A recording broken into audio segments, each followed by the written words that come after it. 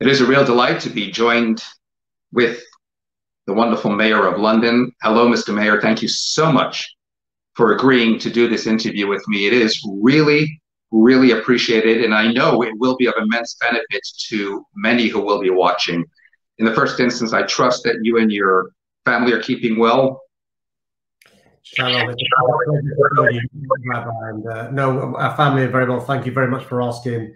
I hope you're well, and, and more importantly, the congregation. I hope they're well as well. But it's a pleasure to uh, join you and have a conversation with you uh, during the course of this evening. Thank you so much. Yes, it's, it's been a rough time, and I think let's just jump straight into it. I mean, just the way we dealt with this, different countries, different governments have taken varied approaches to the pandemic. And now, of course, each introducing their own easing of lockdown. Looking a little closer to home, um, from a communal perspective, arguably, we went into lockdown perhaps a little bit late, and there was a fair amount of loss of life in, in the Jewish community. But my question to you is what is your take on the UK handling of COVID 19 and indeed the process of our current easing? Well, firstly, this, this global pandemic has been, frankly speaking, awful. Uh, the human cost you mentioned just in the Jewish community, but across our city, across our country, across the globe, the numbers of people who've lost their lives because of the pandemic has been huge. Uh, but also, I genuinely think uh, there are lessons to learn because this won't be the last pandemic we face, I'm afraid. Globalization means the world is a smaller place. That means it's easy for a virus to pass, and a virus doesn't respect city boundaries, national boundaries, or international boundaries. And it's really important for us to learn lessons. And you're right, we've got to have the humility as a country to realize, in fact, there are lessons we should learn in real time in relation to what other countries have done that worked, that didn't work, the lessons we can learn. One of the things that I've noticed, which is remarkable, is the response, generally speaking, from community elders and community leaders, and I include you, Rabbi, in relation to the sense of calm and reflection required and, and not panic, which is really important. But it's really important we do learn the lessons. You alluded to one of them, which is us entering lockdown too late. But actually, we as a country, because we're an island, we got the virus far later than other countries. And I genuinely think we should have been learning from the South Koreas, the Singapores, elsewhere in Europe, what they were doing that was working well, what they were doing that wasn't working well. And I think we should reflect upon that uh, without arrogance, but with humility and say we could have done things better and we need to learn, Rabbi, because there could be another pandemic around the corner, or God forbid, a second wave around the corner. Okay, thank you for that. That's actually actually very profound, if I might say so. But now, more precisely, you are the mayor of one of the greatest and most thriving cities in the world. The economy, of course, has been badly impacted by the pandemic. So many stores remain closed, private businesses have suffered, and so many have actually already gone into liquidation.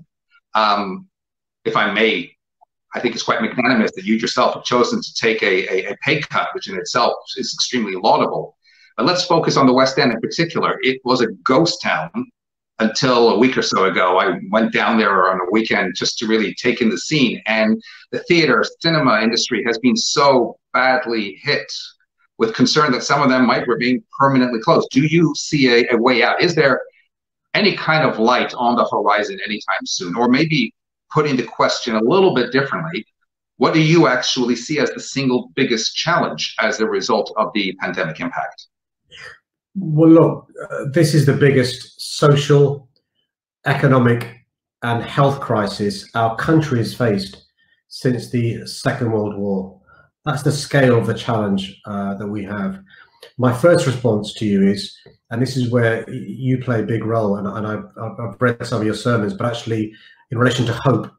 We've got to give people hope that actually there is a way out, a transition, and then a recovery from the worst economic, social, and health crisis since the Second World War.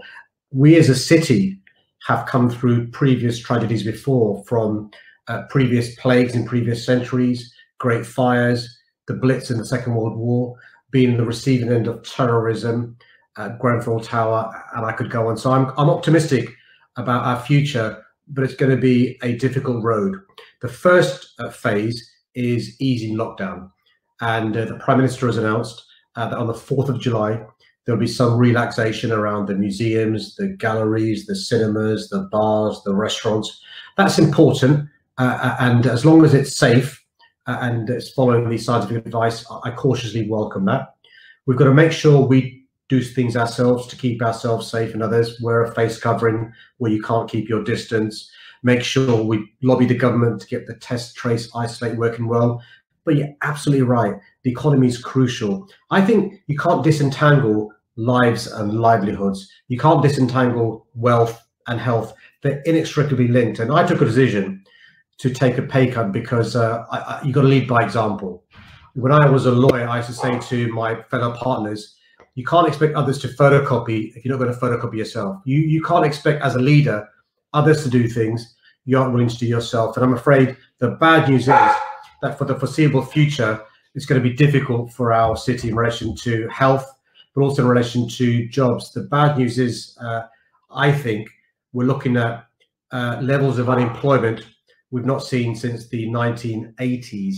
And my fear is, Rabbi, that in the 1980s we had a generation written off because of mass unemployment. I don't want a generation written off. So what I'm saying to the government is, let's now start supporting those industries. You mentioned culture, hospitality, retail, which won't be able to resume quickly. Rather than businesses going bust, people made unemployed, let's support them.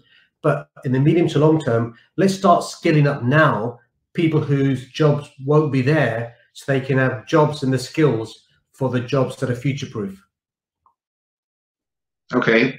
But then picking up on that, and I know you've been asked this question before, and if I had a pound for every time someone asked me to ask this question to you, I'd be very well off. But let's ask it anyway. The congestion charge. I mean, a 50 pound theater ticket or a 20 pound cinema ticket is now going to cost 15 pounds extra, regardless if I go midweek, end of the week, weekend, etc. Coupled with the fact that most people don't feel comfortable taking public transport at this stage. So it means that they'll avoid trains, but driving is too expensive. So far fewer people are likely to visit anywhere in the congestion zone, which means fewer weekend shoppers, fewer cinema or theater goers. How is that supposed to bolster the economy and especially whatever industry operates within that zone? Yeah, really important point. So one of the things that we we we Transport for London have suffered since the lockdown in um, on March 23rd is uh, the the revenues we receive, we rely upon passengers using the tube, the buses, the trams, the overground has stopped. 90% of our uh, income has dried up, and we rely upon our income from fares to pay for the services we provide. And we're like any other business. So we've used our savings. We used we've got two billion pounds worth of savings. We've used our reserves to pay for services. No money's been coming in. And like many businesses, like other transport authorities around the country, we've gone to the government, so listen, government, I can't continue to run transport in London because there is no money left. I've used my reserves. There's no money coming in. And what the government has done is said, look, Mr. Mayor, we're willing to give you a grant, but we require you to take out a loan, but also we require you to do certain things as the condition for us giving you funding. And one of the conditions the government attached to giving me a grant and uh, was and, taken out a loan was that I must immediately reintroduce the congestion charge. You remember I stopped it because I realised essential workers and others weren't using uh, other forms of public transport. We need to get them into central London.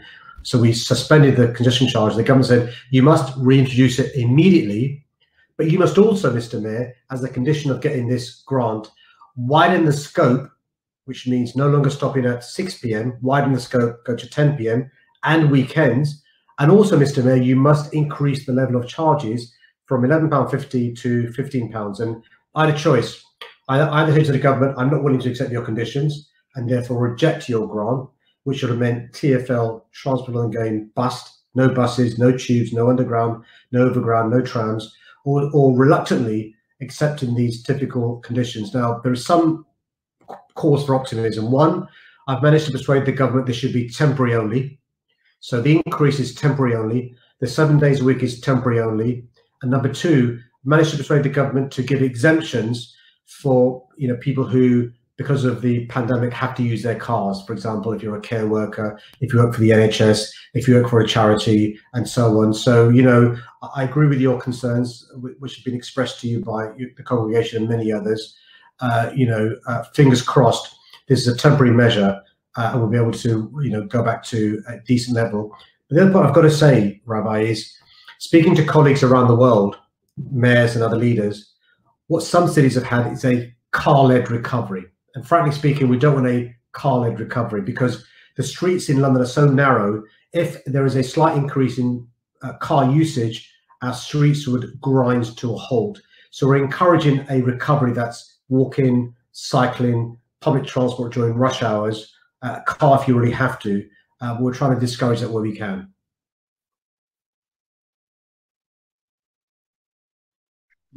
So I'm picking up on that last point, actually. Um, can you clarify whether free bus travel for children is or is not going to be scrapped as part of this? So you meant that's another condition attached. So you're right. So there are a number of conditions the government attached to the uh, money to uh, get us going from TFL. One was to reintroduce congestion charge. Two was to widen the scope and increase the level of congestion charge. Three was to remove free travel for under, under 18s.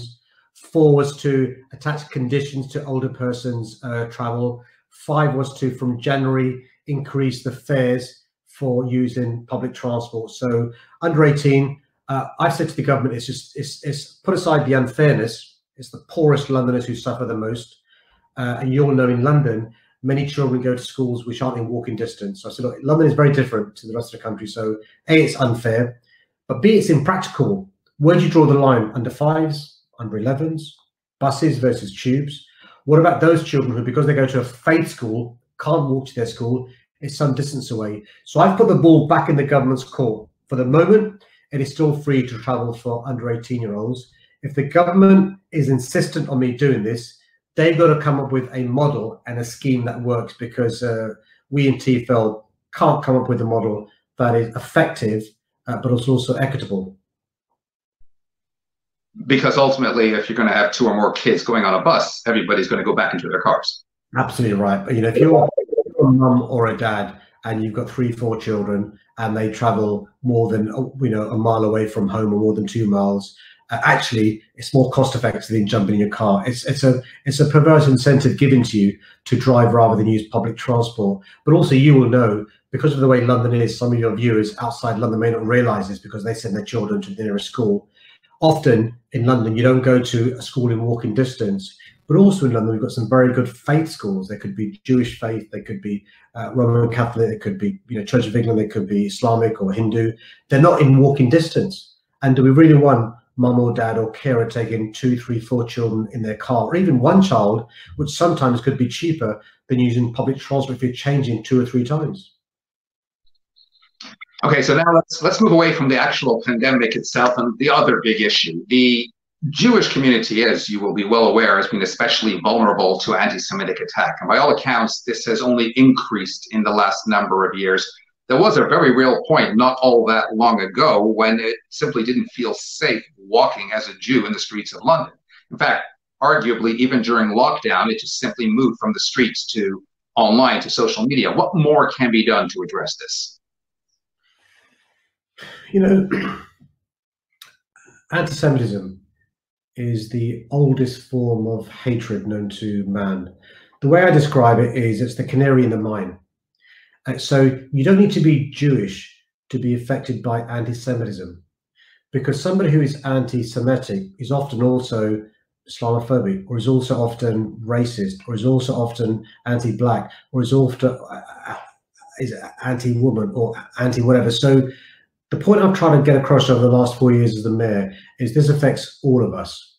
Actually, because the Jewish community is relatively small, it is more important for those in positions of power and influence to take it more seriously than we otherwise would. Because but for the grace of God, it could be me being affected by this. And I, I find it unconscionable that in the most progressive city in the world, just because the school you happen to go to is a Jewish faith school, or because the place of worship you go to is a synagogue, you need protection there from the CST or others, right? And so it's really important that, that I, as your mayor, do what I can to make you feel safe. And I realize there are two parts to this equation. One is your safety. Two is your perception or fear for your safety and your family and your congregation and the like. And so, firstly, as a Labour politician, I've got to be quite clear and candid. The Labour leadership in recent years has been very poor in dealing with examples of anti-Semitism with members of my own party. I'm really pleased that our new leader, Keir Starmer, is uh, is undertaking a huge transformative uh, pieces of action to address the issue of anti-Semitism, and uh, that demonstrates to me the Labour leadership nationally gets this. Secondly, it is the case that we've seen uh, a an increase in anti-Semitism in recent years. Uh, uh, you know, not just face to face, not just from criminal damage, but virtually in relation to trolling of in, on Twitter or on Facebook or, or, other forms of social media. I've had friends who have left the Labour Party uh, because they were the receiving end of anti-Semitism on uh, social media. Uh, and the fact that a crime takes place on social media doesn't minimize that it's a crime. Crime is crime. And, and so the first thing I'd say to you is to reassure you, Rabbi, that uh, our commission of Met Police, Cressida has a zero tolerance towards any forms of anti-Semitism. Uh, you know, she understands the importance of dealing with this. The Met Police Service, which I'm responsible for, takes a zero tolerance towards this. We work very closely with the CST. But also, if there are any examples that you or the congregation know about, please make sure you report it to, if not this, if not the police, if not me, the CST or other organizations, because unless you report it, we can't take action and we don't understand the scale of this challenge. You mustn't suffer in silence. Um, and it's really important you don't. My job as your mayor is to make sure I, I, I'm with you not simply standing shoulder to shoulder with you. You'll be where I attended shul uh, on the first uh, Sabbath I could after the uh, horrific uh, attack in the synagogue in America. Really important we show solidarity with you. And so it's really important you feel as safe as you can do. And so you mustn't assume this is trivial. This is not serious. Nobody was hurt. No, it is serious because today it's name calling on Twitter. Tomorrow that could be somebody suffering the ultimate loss of life because they happen to be Jewish. All right. So actually, thank you for that, and it's very important. I appreciate, and I know the community as a whole will appreciate very much your encouragement and your support in that sort of way. But now broadening that out, especially in light of recent riots and whatnot, in regard to general racism. Um, apparently, according to statistic, if you are from Black, Asian, or minority ethnic background, you are nine times more likely to be stopped by the police. Do you think that the UK actually suffers from systemic racism? Firstly, look, there is racism in the UK. Right? We shouldn't pretend there isn't. By the way, one of the things we've got to educate people about is anti-Semitism is racism. Right? We kind of a hierarchy of racism. Racism is racism, and we've got to make sure we call it out. The bad news is there is there is racism in, in the UK the bad news is there is racism in London. And I say that as the mayor of the greatest city in the world. That's also the most progressive city in the world. And the point I made generally is if there's racism, and I include anti-Semitism in London, just imagine what it's like in, in lesser progressive parts of our country and lesser progressive parts of the world. And you know, the, the, the reality is the brutal way George Floyd was killed in Minnesota, uh, Minneapolis, USA, has, in my mind, shone a light on the racism black people face. Now, you and I both suffer discrimination uh, because of our faith, because of our identity, because of who we are. And I think we've got to have empathy to realize that if you're a black person, actually the racism you suffer is humongous. Uh, racism, discrimination, uh, uh, uh you know, uh, it really, really is, is a big issue that's suffered by the black community. And George Floyd's brutal killing struck a chord with black people, not just in America, but around the world, because they were thinking, but for the grace of God, that could have been me, my son, my dad, my uncle, my cousin. And that's why we've got to show solidarity, Rabbi, whether you're Jewish or Muslim, whether you're uh, somebody with our color skin, or whether you're somebody who is white. Uh, we've got to show solidarity with the black community who are really feeling it, not just in stop and search, the numbers of young black children who are excluded the number of young black people who don't get the grades they deserve, that don't have their potential fulfilled, the, the lack of black people going to top universities, the lack of black judges, the lack of the lack of black magistrates, the lack of black people in the cabinet, um, the too many black people in our prisons, the longer, harsher sentences given to black people by our judges and our magistrates, the, the, the dearth of black people in the media, and I could go on. So this is this is the solidarity that just like other communities have got to show the Jewish community when it comes to anti-Semitism, I think we've got to show to uh, black brothers and sisters when it comes to Black Lives Matter. Black Lives Matter doesn't just affect black people; it affects all of us who care about living in a fair, just, equal society. Whether you're a rabbi, an imam, whether you're of Pakistani origin or of Israeli origin, whatever your background or heritage, all of us should understand this is a mainstream issue. And my worry is, Rabbi, that I worry that unless we take advantage of this uh, window of opportunity, the caravan may leave and we'll move on to other things. And that's why it's so encouraging that you and I, a Jewish person, a Muslim person, none, none of us directly affected, we're not, we're not black, are talking about it, which is wonderful because, you know, people watching this, they may say, why this affect me? It affects you because if black people aren't having their potential fulfilled, it affects you. If black people in our city don't feel equal citizens, it affects you. If you run a business but you're not employing the best talent because black people aren't getting the best results they deserve in schools, it affects you. So it affects all of us. Okay, thank you really very much for that point. Um, but following on from that, because within all of this response now, you have started a commission to review London landmarks. And frankly, in principle, that stands to reason. But first of all, can we really judge historical figures by our own 21st century standards? And really, by extension, I mean, these statues are more to reflect on history rather than endorsement of the figures represented. Isn't it better to keep the reminders there rather than just simply to whitewash it? Uh, and more precisely, um, where do we draw the line? I mean, so we can take down the statue, arguably, of Cecil Rhodes, but continue using his scholarship money? Or what about Richard the Lionheart's coronation, which sparked pogroms of unprecedented severity back in the day against English Jews? Are we going to take that one down and out of Parliament Square as well? Well, firstly, let me just, you know, cards, and, cards on the table. a commission for diversity in the public realm isn't going to solve the issues of racism, discrimination, and inequality, right? It won't. But there is a role uh, for us to look into what happens across our city and ask the question: Does the public realm, the public spaces, not just statues, street names, names of squares, murals, blue plaques, does that properly reflect the contribution to our city's greatness made by all sorts of people, people of color, black people, Asian, minority ethnics, Jewish people, women, uh, LGBTQ plus people, people who are disabled. I'll give you one example, Rabbi. I became mayor in May 2016, and within a week of becoming mayor, a petition was given to me from a woman called Caroline Criado Perez. And she made a really interesting point. She said, When I jog around Parliament Square, I see statues of 11 great people. All 11 are men. All 11 are men, not one woman. Are you saying, Mr. Mayor, not one woman has contributed to the greatness of London and our country? And a campaign began, led by Caroline, which led to, in 2018, us unveiling the first statue of a woman, Millicent a huge campaigner for uh, women's equality and the right of women to vote, is now in Parliament Square. Now, I'm not saying that one statue of a woman will will, will make it uh, our society, you know, gender fair, but it's really important that people see examples of uh, themselves, but also others have made a contribution. And so what we're doing is it's not a commission about taking down statues for the sake of taking down statues.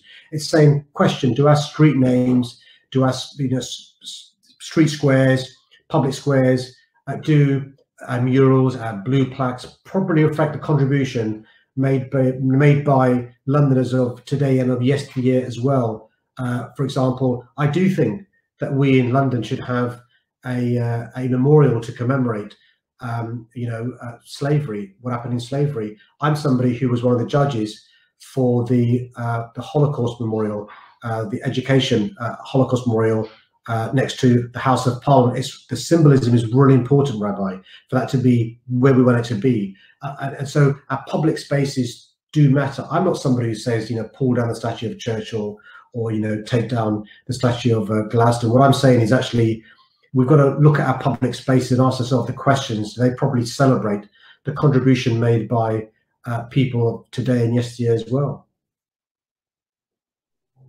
albeit arguably it shouldn't then necessarily be drawn with statues. I mean, we should then start discussing about what music is being played on our radio, what books we have in our library, etc. There's some of that that can effectively be highly offensive as well. So it kind of does put the question of where we would ultimately draw the line. There's a great, there's a great, there's a great Churchill uh, quote which said, "You know, history will be kind to me because I'll write it." I'm paraphrasing what Churchill said. And so the, the point is, who is in charge of our public space? Who's in charge of what goes in our museums?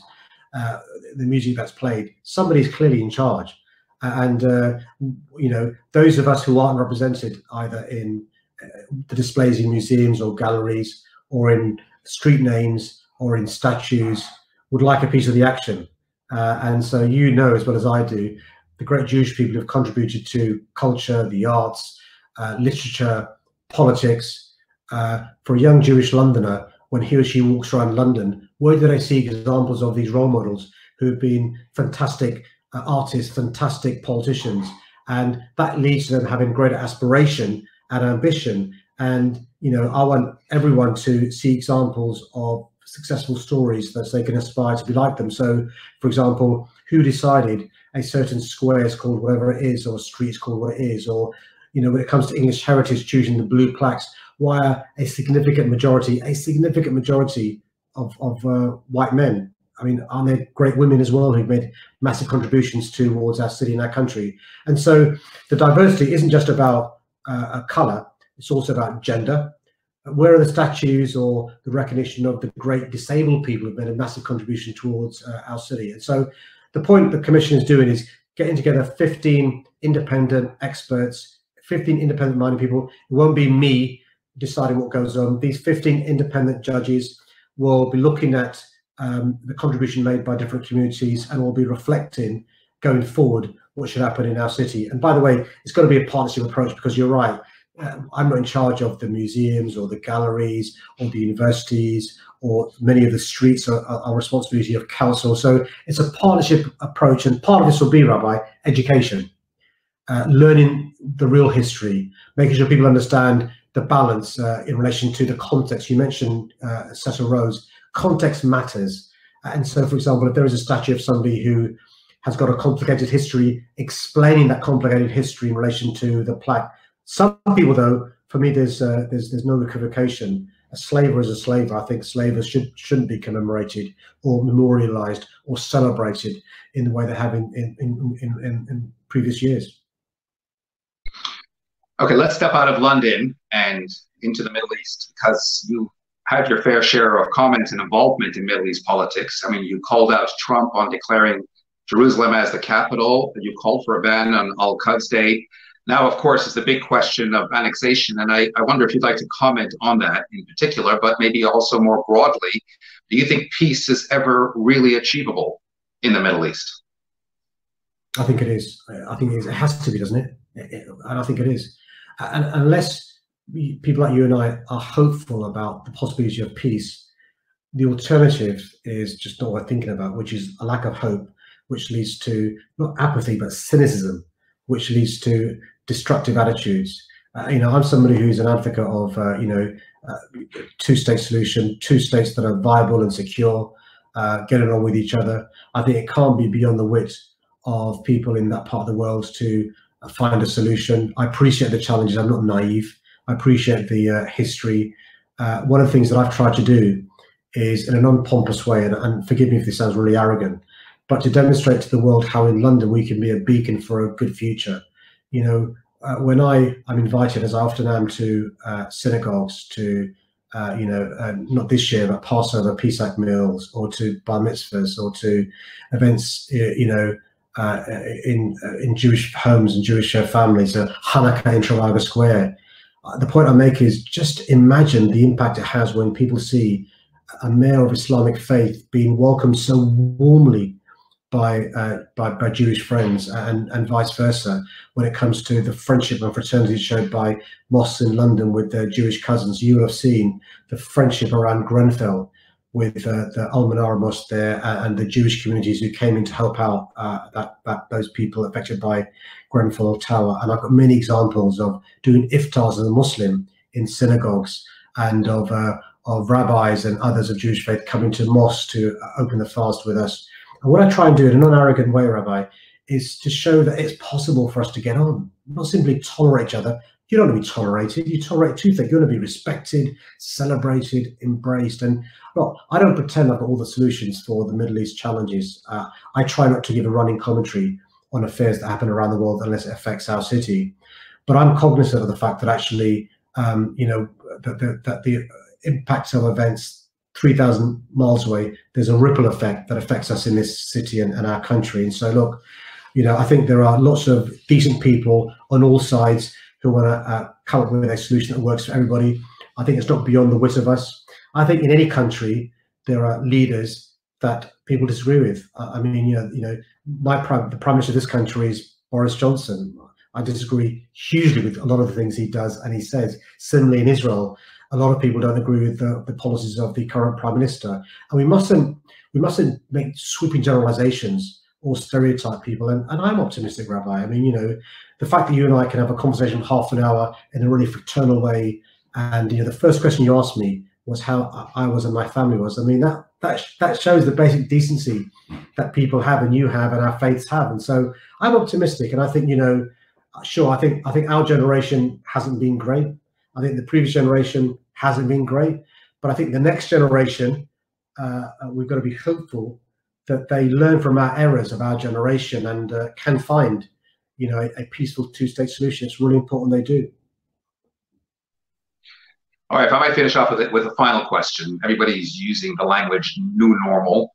I mean, my I'm, I'm still grappling within myself to ascertain whether there will be a fundamental change in civilization. That somehow these last three and a half months have been some kind of reset button. I, I wonder what your perspective on that is, whether there'll be some kind of broader change in light of everything that we've just discussed. Will people's attitudes, sensitivities, etc., be somewhat different because we've all been exposed as being so utterly vulnerable, or is this simply ultimately going to be reverted back to some kind of sad piece of history? And just as a second of that, just in reference to you yourself, I know, of course, you announced in 2018 that you're standing for re-election. What are your goals and your ambitions in that new term? I think you and I both know that the, the, the, definition of insanity, doing the same thing again and again and expecting a different result. And I think we've got to learn from this global pandemic and learn the right lessons. What we can't afford to do is return to business as usual. And, and I actually like the phrase a new normal. I think it's really important for us to think about the lessons we need to learn from this global pandemic, from the origins and the way we treat livestock, uh, uh, really important, up to what this uh, pandemic has done, which is you know shine a spotlight on the fragility of our society, but also highlighted the structural inequalities that exist uh, in our society and some of the challenges there are going forward. So I would like a new normal to be where we understand there are some jobs, zero hours contract jobs, jobs in the gig economy, which uh, disproportionately affect certain communities. We're going to be addressing them, giving them good employment protection. I met, Rabbi, too many people who were saying, look, if I don't go to work, I've not got money to put food on the table or, or to pay my bills. And so I may have the symptoms, but I'm afraid I'm going to take the risk and go to work because I've got to put food on the table. That can't be right. We know about overcrowded housing leading to an acceleration of the virus uh, spreading. We know uh, that too often politicians have, uh, you know, used politics as a motivation for making decisions rather than the science and what the expert advice is. We know that sometimes the economy has trumped health when it comes to decisions, and I could go on. And so there's got to be new normal. One of the things we can't have going forward is uh, invested in jobs that aren't conducive to the future. So I'd like a, a, a, a new normal that's green, where we have people thinking about you know jobs that are future proof. You will know at the end of uh, this year we'll be leaving the European Union. Well, if we live in the European Union, we're going to be thinking about our future as a country of 66 million people only, not 600 million as a member of the EU. What is our uh, USP in relation to being a, a, small to medium-sized country when it comes to a global economy? So the new normal gives us an opportunity to address these very uh, issues, and so it's really important we think about that. How we look after our elderly. Elderly, you will know actually uh, uh that uh, particularly older people have suffered hugely with this uh, virus because they're vulnerable underlying health conditions and their age, the new normal should ask the question, how do we look after older people? How do, what should we be invested in care homes? Is it acceptable to be cutting corners? or should we be invested in, in excellence like you know Jewish care does uh, for, for, many older Jewish people? So the new normal really does uh, matter, and I think it's really important we take the opportunity to to learn. And one of the great things about the Jewish faith is actually, and I had this conversation both with the, the chief rabbi, but also separately with the Archbishop in, the Church of England, was you know some of the, some of our religions have got centuries worth of experience of coming out of catastrophe. Uh, and how do you come out of catastrophe? The transition the recovery the hope. And so we need to learn from faith communities and faith leaders about the experience they have to have a, a new normal. It's really important in relation to to, to myself I'll, be standing again to be uh, the, the mayor the election's been postponed from may 2020 to may 2021 i'm looking forward to over the next uh, few months making sure we come from uh, lockdown to being eased to a transition to a recovery. I'm not in the recent past, and I won't for the for the near future be thinking about re-election. I'll just do my best to be the best possible mayor I can. I, I campaigned on something I called Rabbi the London Promise, and the London Promise is very simple. You work hard. There's a helping hand, and you can achieve anything. And my concern has been in the recent past, many Londoners are working hard but there's no helping hand. And they're frustrated because that means they can't fulfill their potential. And my job as the mayor is to be the helping hand, uh, not just for uh, Jewish Londoners, but for people from all backgrounds, all faiths, all ethnic origins, different genders, to make sure all Londoners can have their potential fulfilled. Well, thank you so, so very much. I really appreciate it. This has been great. As you highlighted a number of times throughout the conversation, this opportunity to share just across faiths, as it were, as individuals, and of course yourself as the mayor and me as a rabbi in this great city. I'm, I'm really appreciative of your time, and uh, I wish you and your family well, and of course the best of luck in the upcoming election. Thank you, bless you, and uh, love to your family, and uh, thank you very much for all that you're doing, Rabbi.